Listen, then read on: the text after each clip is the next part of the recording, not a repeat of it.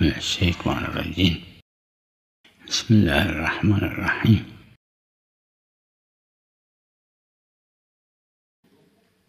فقها فرمودن کثیر السفر وقت این عنوان عنوانی است که فقها از این دو عنوانی که تو روایات وارد شده برداشت کردن اگر نه لا یدور الحکم مدار کلمه کثرت. که ببینیم عرفا کجا کثیر گفته میشه کجا نه.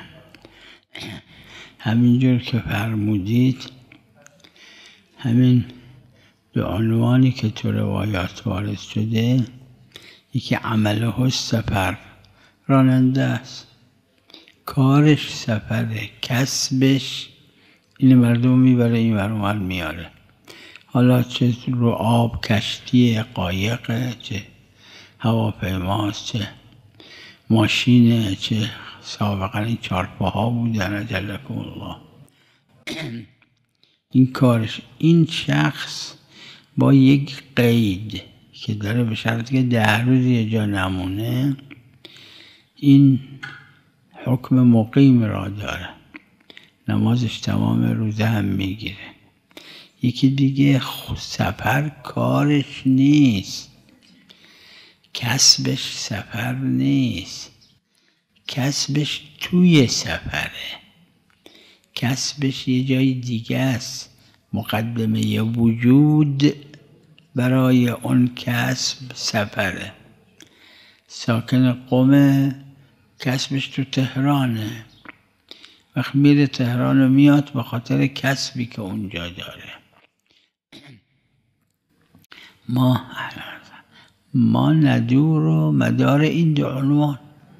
هر جا این صدق کرد و خب فقها به خاطر اینکه این موضوع مثلا موضوع مستنبطه که موضوع مستنبط نی ظاهرا موضوع موضوع صرف عمله السفر یا عمله فی السفر. این اون قیدو که بزنید که ده روز یه جا نمیمونه وقت فرق نمی‌کنه. در ده در هفته یه بار سفر کنه یا دو بار سفر کنه. یا در هشت نه روز یه بار سفر کنه یا چند بار سفر کنه. اگه اون قید نبود ده روز یه جا بمونه خورده مطلق بود اما به خاطر اون قید اگه یک جا موند ده روز یا تو شهرش ده روز موند که یه بحثی هست اگه غیر شهرش یه جایی ده روز بی قصد موند آیا بازم همین حکم داره که قاعدتا باید اینو بگیم چون لفظ روایت مطلقه؟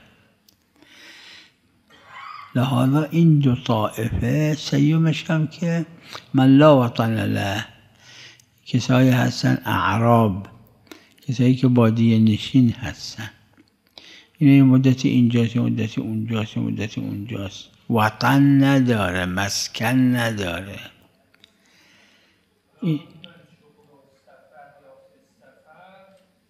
یک سفری می‌کنه غیر از اون چی که مربوط به شغلش این تصریح کردن شاید تسالمم باشه برش که این چون استثناست اصل اینه که نماز تمومه و اصل اینه که در سفر نماز قصره.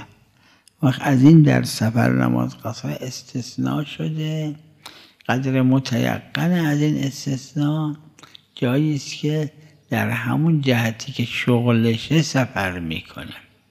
اگه کسی بین قم و تهران رانندگی می‌کنه یا کسبش تو تهرانه. حالا یه بار رفت تهران برای دیدنی کسی. سفر که هست این تهران رفتن. عمومات گرفته تش اما این خاص که شغل و سفر یعنی سفری که در شغلشه. اگر هم شک کردیم اقل اکثر قدر متیقنش اینه. بله. بله. خب همین جماعتی یعنی شما این عروه و حواشش رو ببینید این تک و توک یکی یکی دوتا فقط هستن. پنج تا فکر نمی کنم پیدا کنید. ظاهرا از بحث نظر علمی مطلقا سفر قصره.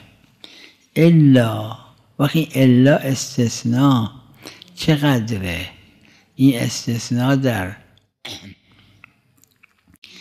در اون جهتی است که به خاطرش شده کسی عمله سفر یا عمله به سفر یا اینکه اعمه. اطلاق ظاهرا نداره. مناط کار نداریم. بحث سر اینه این خاص. این خاص اقل اکثره. اگه به نوبت اصول عملی رسید. قبل اصول عملی اطلاق ظهور می‌خواد. یعنی ظهور عرفی. ظهور عرفی روشن نیست. لحاظا فکر می‌کنم کسایی که اینجور که میفرمایید گفتن کم هستن از فقه ها بله احتیاط خواهی بحثیه. محتاط این احتیاط کنن. نتیجتا اونی که عمله سفر یا عمله فی السفر. برای همون جهتی که عمله سفر شده و لحاظا غالبا فرمودن حتی اگه به جای دیگه بره. یعنی کارش بین قم و تهران ماشین داره قم و تهران. حالا یه بار کاشان مسافر برد. اونم نمازش تمامه. با اینکه در اون جهت نیست. جهتی که متعارفش بود. یا اینکه یه بار حالا مشهد برد. مسافر اما به عنوان مسافر رم نه به عنوان زیارت مشهد حرف بد نیست.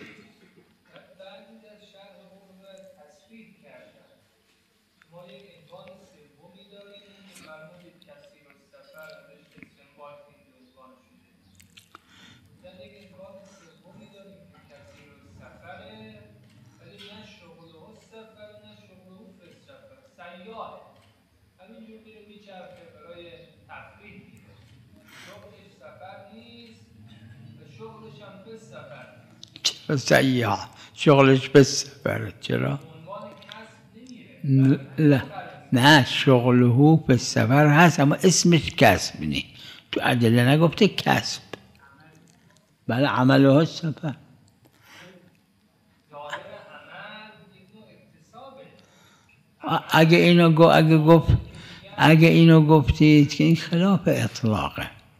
و لحاظا یکی از معاصرین خدا رحمتش کنه یه وقتی همین بحث با ایشون شد از مراجع معروف من همین عرض کردم این کسایی که از تهران هر هفته میان برای جمع کران عمله به سفر عمل نگفتن که کسب باشه.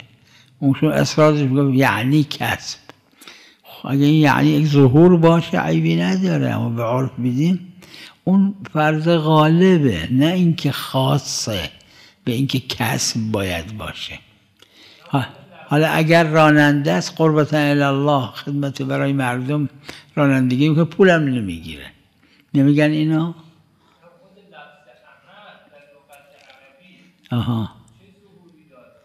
کارش عمل یعنی کار.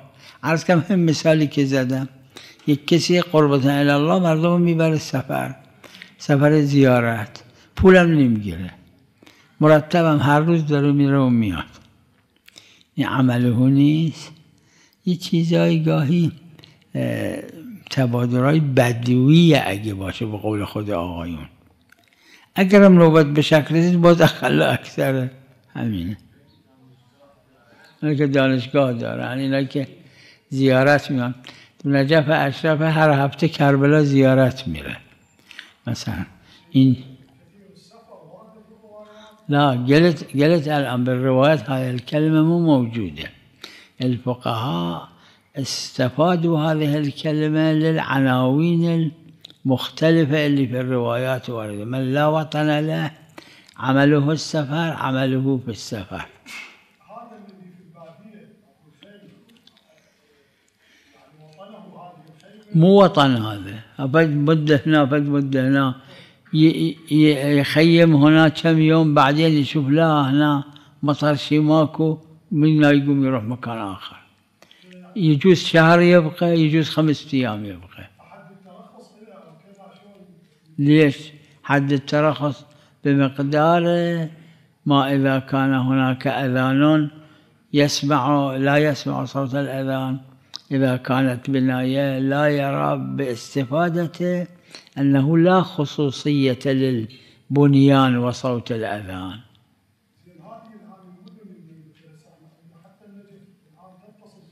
أي. حد الترخص آخر المدينة في أيام الأئمة عليهم الصلاة والسلام كانت مدن كبار منها سامراء. ذاكرين في التاريخ أن سامراء كانت ثمانية فراسخ يعني قريب خمسين كيلو متر فد- م- مسجد أكو مسجد أبي الدلف في سامراء هذا في أواخر سامراء اللي منارته هم ملوية مثل هاي الملوية بس أصغر. هذه الملوية ما تنشاف من سامراء لأن هي تقريبا أربعة فراسخ بعيدة عن سامراء الفعلية. يعني زمن الأئمة كانت مدن كبار وفي ال- الكوفة كانت كبيرة صاحب الجوار يقول خمسة فراسخ كان يعني خمسة في خمسة. واسط كانت مدينة كبيرة البصرة كان فيها فيها في البصرة في المدينة. كذا آه، أنهر يمشي فيها الزوارق. مدن كبار في أيام الأئمة عليهم السلام هم كانت في الروايات فد مورد ماكو إشارة إلى المحل أو الدار أو كذا. كله أسماء المدن أكو. والملاك حد الترخص من آخر المدينة كبيرة كانت أو صغيرة. أي. لا مو متصل بعد. زمن الإمام عجل الله فرجه الشريف يتصل. كما في الحديث.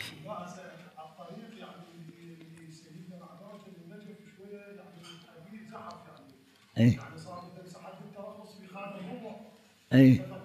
ما يخالف شكوا بي شكوا بي الآن هم أكو في العالم مدن كبار 40 50 كيلومتر. بعد ما صار 40 50 كيلومتر. هواية هواية يصير 10 كيلومتر 15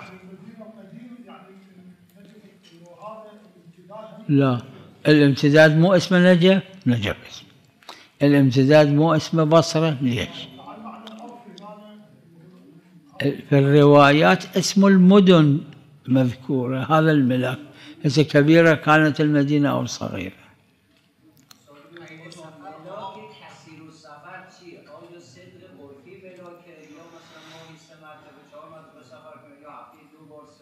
عرض كذا کلمه کثیر و سفر تو روایات ما نداریم. نه. اینو فقها فرمودن برای تسهیل. اگر خود همون فقها فرمودن تو روایات برای سفر دو عنوان ما داریم. غیر من لا وطن له.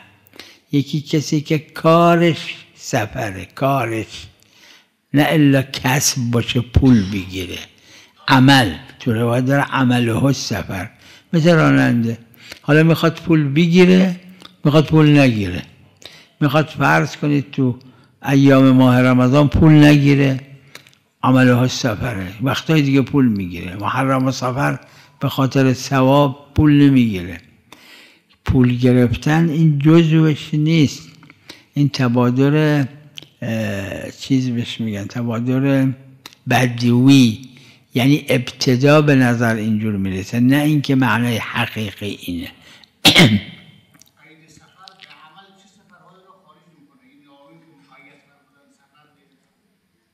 همین تو روایت داره یا کارش سفر باشه یعنی راننده. راننده کشتی هواپیما ماشین سابقا هم چهارپاها اما این قید چه سفرهایی را خارج می‌کنه از نظر این روایت سفر معصیت مستثنا است ها م- اون مستثناهاشه بله.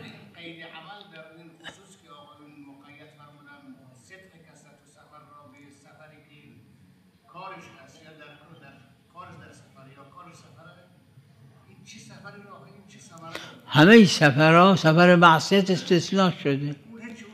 او استثناء شده یه سفری هستش که معصیت هم نیست به قول معروف براش میره میره حالا این شهر میره اون شهر میره گردش گردش میره بلکه اگه یه جوریه که داره گردش میره اما مرتب انقدر گردش میره که ده روز اتفاق نمیفته یه جا بمونه.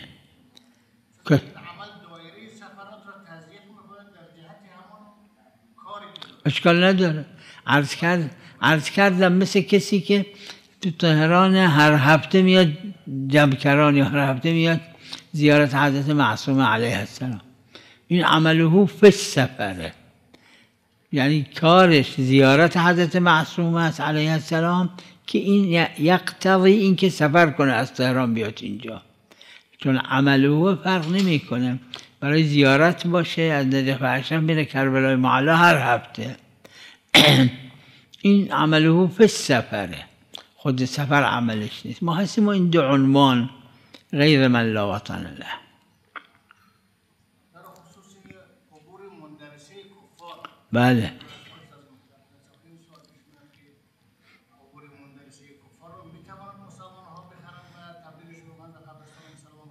ببینید این تابع ملک ملک یک امر عرفیه. مگر شارع یه جای تضییق و توسعه داده باشه؟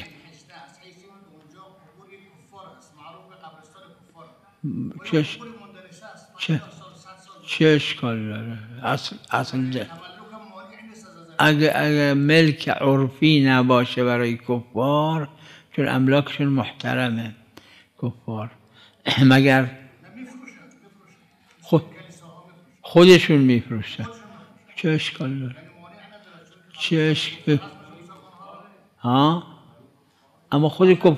اما خود کفار میفروشن اصلا این سری که قبرستان قبرستان کفار کفار از این حیث در اون نه یعنی می‌خرن میشه قبرستان مسلمون. اگه اگه عرفا قبرستان کفار که لا یجوز دفن مثلا بلا اشکال. اما اگر فرض کنید یه عده مسلمان خورده خورده دفن تا این صدق که قبرستان کفار ورزشته شد به قول شما مندرس هم هست. اگه اینجور تابع صدقه. اگه عنوان قبرستان کفار برای صدق می‌کنه نه من بخرم یعنی می‌خرن خونه می‌کنن نمی‌دونم چیکار می‌کنن. نه نه. مسلمون را در قبرستان کفار مادامی که صدق می‌کنه قبرستان کفار جایزی دفن کردن. اما اگر فرض کنید حرام را یه عده کردن تا از این صدق افتاد اون دیگه اشکال نداره.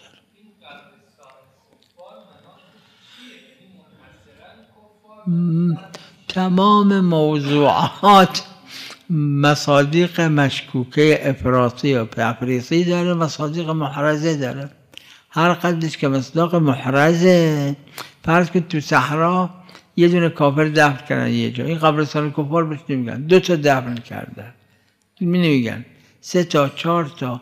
یه جایی هم شک می‌کنیم که میگن یا نه. استصحاب عدم می‌کنیم.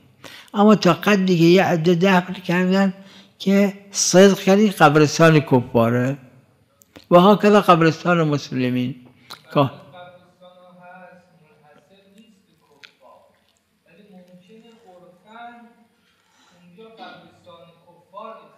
همین ببینید ممکنه را ور دارید هر جا احراز شد چون دلیل گفته که از دلیل استفاده شده که قبرستان کفار.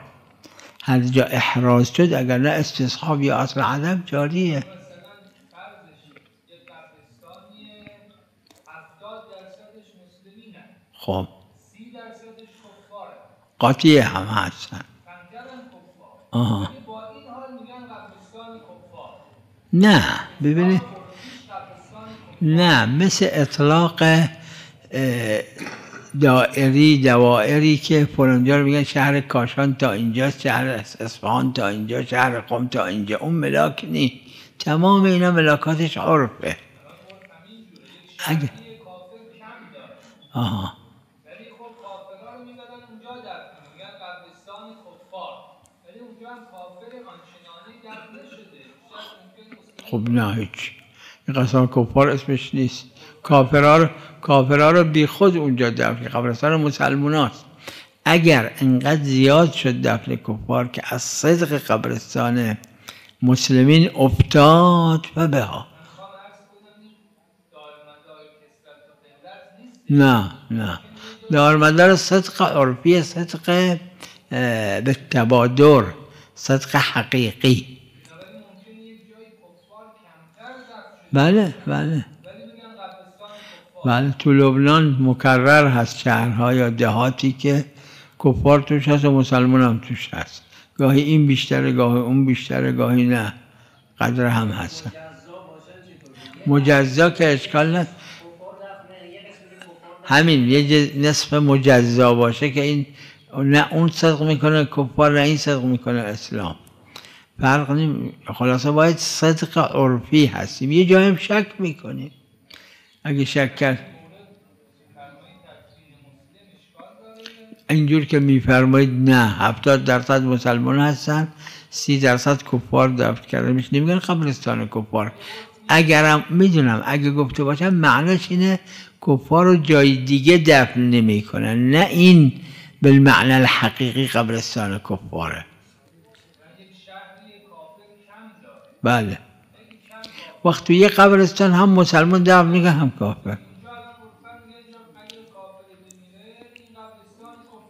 نه اما به معنای حقیقی قبرستان کفاره.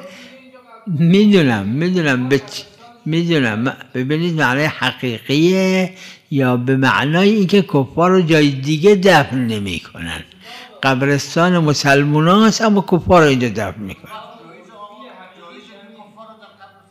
نه جایز نیست. بله بله بله جایز نیست.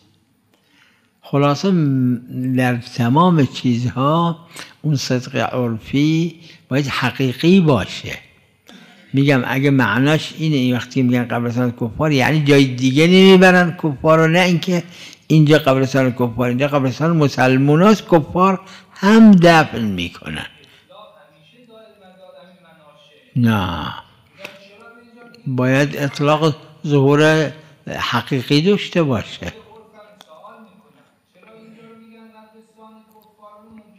چون جای دیگه کفار جدا دفن نمی‌کنن همین.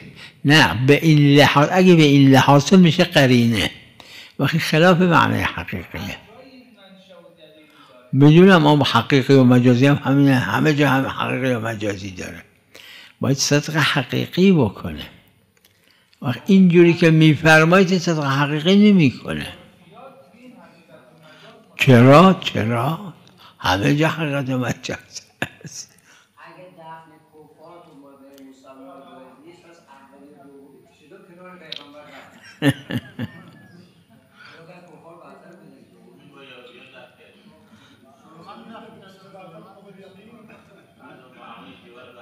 اگه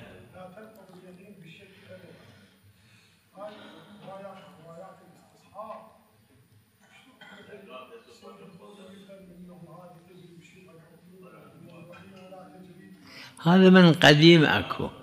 شوفوا كتاب الرسائل للشيخ الأنصاري في بحث الاستصحاب. يذكر أحد عشر قول بالاستصحاب والأقوال أكثر من هذا. أحد الأقوال اللي من القديم أكو أنه الاستصحاب لا يجري في الشبهات الحكمية وإنما فقط في الموضوعية. قولها بالعكس أكو. ولكن نادر هذا القول. لا لا لا تنقض اليقين بس إطلاق أكو.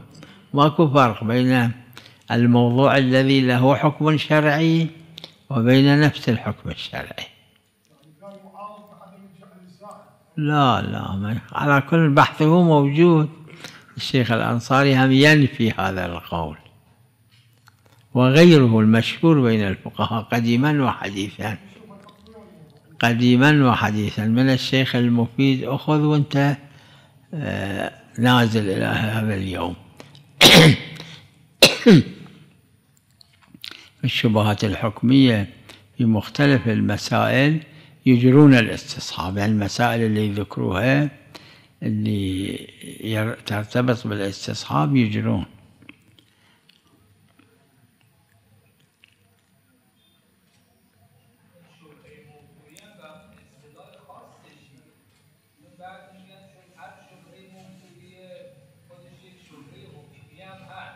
معلوم که موضوع كالعلة للحكم دیگه موضوع باید حکم داشته باشه حکم شرعی. وقت- وقتی با استصحاب موضوع ثابت شد و حکمش مترتبه برش میشه حکم شرعیش که بلا واسطه باشه.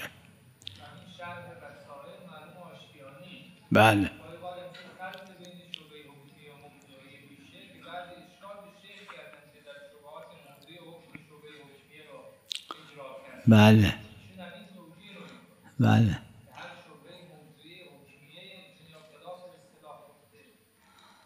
یعنی شبه موضوعیه چون بالنتیجه حکم شما می‌خوایم جاری کنیم. ما وقتی که این طهارت این عبا رو جاری می‌کنیم می‌خوایم بگیم جایزه باش نماز بخونه به جوشش بندازه نماز بخونه.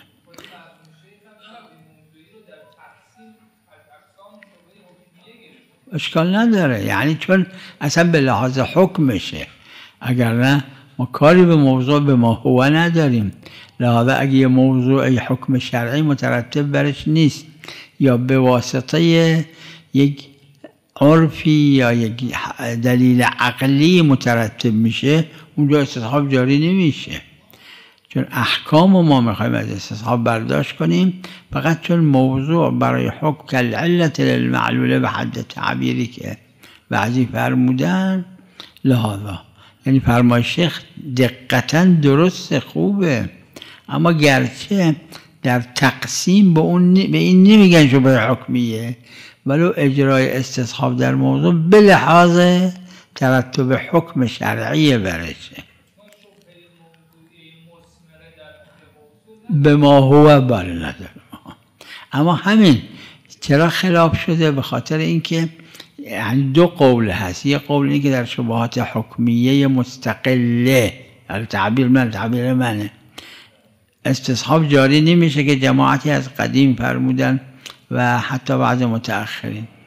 بعضی هم در موضوع گفتن جاری نمیشه به خاطر همین که شما فرمودید که شیخ هم نقل کرده. اگه خواستید جاشو ببینید مرحوم ملا آقای دربندی چون از فقه هاست رساله عملیه داره کتاب علمی مفصلی داره به نام خزائن. چاپ قدیمش رو من دارم اگه چاپش کنن چاپ جدید شاید ده جلد بشه اگه با تحقیق چاپش کنن که بیشتره.